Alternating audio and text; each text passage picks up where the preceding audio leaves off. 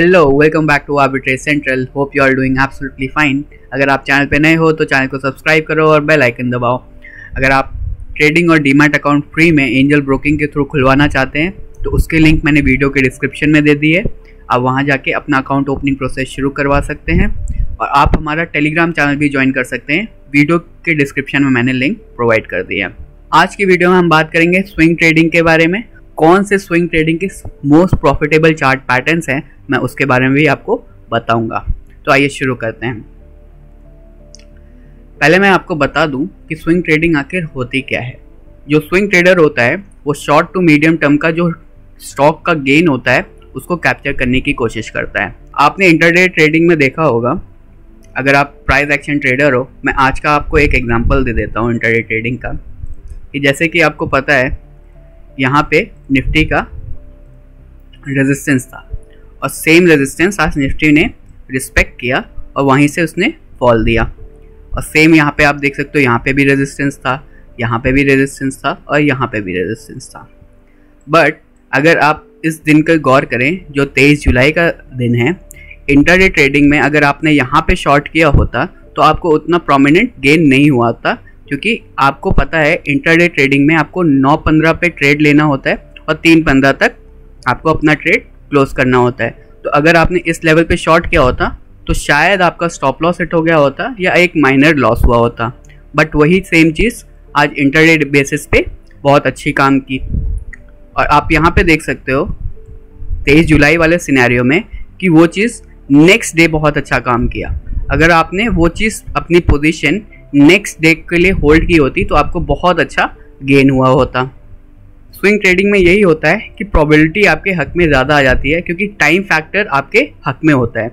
Intraday trading में क्या होता है कि आपको नौ पंद्रह से तीन पंद्रह तक ही ट्रेड करने को मिलता है, और तीन पंद्रह को आपको अपना जो भी पोजीशन है, आपने ले रखी है दिन भर की इंटरडे ट्रेड की, उसको क्लोज करना ही करना होता है, नहीं तो आपका ब्रोकर ऑटोमेटिकली उसको क्लोज कर देता है। स्विंग ट्रेडिंग में आप आपको ये एडवांटेज होता है कि आप अपना पोजीशन एक दिन से लेकर सेवरल वीक तक होल्ड कर सकते हो। और उस स्टॉक का जो पूरा एक मूवमेंट है, वो उसको आप कैप्चर कर सकते हो। सेकेंडली अगर हम टाइम फ्रेम की बात करें तो स्विंग ट्रेडर वन आवर से लेकर वन डे तक का टाइम फ्रेम तो मैं यहाँ पे वन आवर का टाइम फ्रेम लगा देता हूँ। ये तो हो गई स्विंग ट्रेडिंग की बात की। स्विंग ट्रेडिंग क्या होती है? मैं फिर से बता देता हूँ। स्विंग ट्रेडिंग में जो भी ट्रेडर होता है, वो मीडियम टर्म का जो भी स्टॉक का गेन होता है, उसको कैप्चर करता है और वो कैसे एनालिसिस करता है, वो टेक्निकल एनालिसिस करता है और वो फंडामेंटल एनालिसिस भी करता है। और इसमें आपको फंडामेंटल एनालिसिस है। उसको सपोर्ट करने के लिए आप टेक्निकल एनालिस्ट को भी इसमें इन्वॉल्व कर सकते हो। जो बिगनर्स हैं, उनको मैं यही नसीहत दूँगा कि वो स्विंग ट्रेडिंग से स्टार्टिंग करें। क्योंकि इसमें आपको रिस्क कम होगा, आपके कैपिटल के जो रिक्वायरमेंट है, वो थोड़ा ज़्यादा होगा बट जो आपका रिस्क है, जो कैपिटल पे रिस्क है, वो बहुत ही कम होगा, और अगर जो आप प्राइस मूवमेंट देखोगे, वो बहुत ही ज़्यादा आपको मिल सकता है। और जो वर्किंग क्लास हमारे ट्रेडर्स हैं, वो पार्ट टाइम इनकम भी स्विंग ट्रेडिंग से।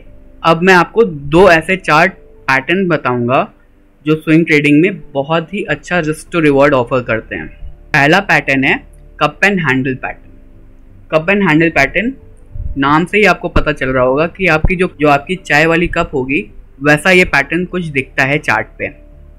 एक सेमी सर्कल जैसा पैटर्न बनाता है चार्ट, उसके बाद एक वेज में चला जाता है और यहाँ पे जब ब्रेकआउट होता है, तब आपको बाय करना होता है। और इसका ब्रेकआउट कैसे आपको बाय करना होता है?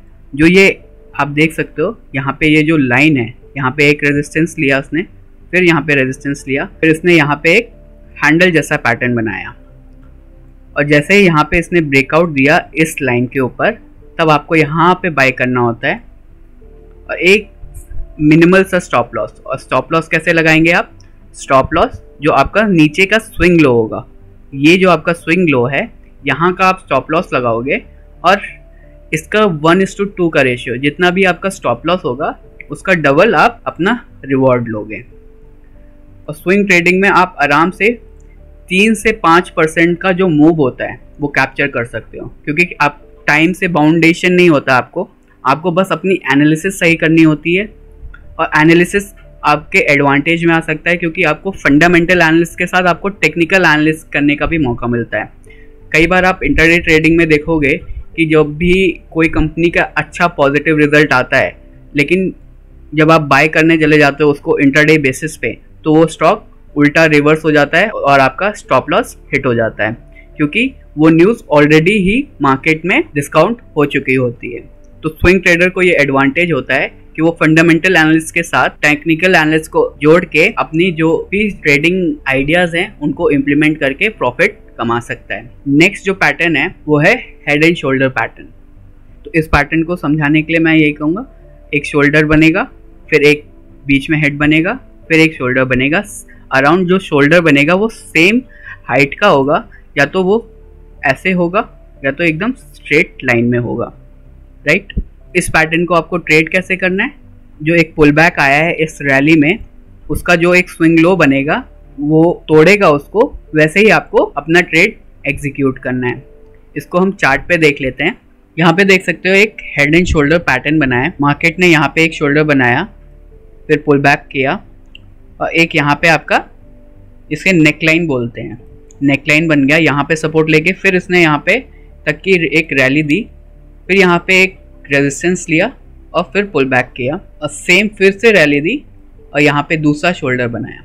तो मैंने आपको बताया था, यहाँ पे जो दो शोल्डर हैं, या तो वो एक स्ट्रेट लाइन में होगा, नहीं तो एक स्लांटिंग लाइन में होगा। यहाँ पे एक पैटर्न बना नेक्स्ट क्या हुआ? नेक्स्ट मार्केट ने जो नेक लाइन बनी थी यहाँ पे, आप देख सकते हो ये जो नेक लाइन थी उसको तोड़ा और देखिए क्या नीचे की एक रैली दी। तो ये जो चार्ट पैटर्न्स हैं जो मैंने आपको दो चार्ट पैटर्न्स बताए ये जो लेवल है इसके टूटते ही आप अपना स्टॉप लॉस इसके स्विंग हाई पे लगाओगे। अगर आप स्टॉप लॉस देखो तो 9950 का आपकी एंट्री होगी अराउंड और 10,075 का आपका स्टॉप लॉस होगा जो अराउंड 125 पॉइंट्स का आपका स्टॉप लॉस था। रिवॉर्ड कितने का मिला?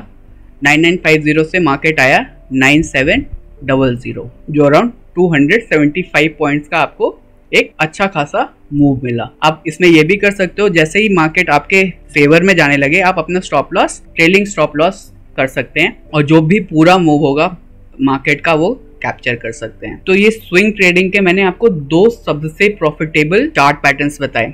मैं अपनी नेक्स्ट वीडियो में और भी चार्ट पैटर्न्स बताऊँगा।